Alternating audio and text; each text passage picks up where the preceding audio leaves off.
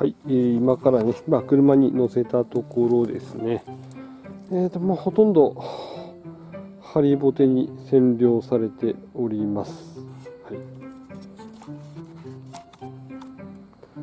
はい。はい、もうほぼほぼハリボテの中に乗るような感じですね。はい。これで、まあちょっと、えー、兵庫県川西市の方まで行ってみたいと思います。